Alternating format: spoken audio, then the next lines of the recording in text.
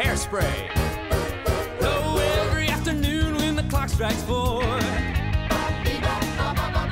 a crazy bunch of kids crash through that door.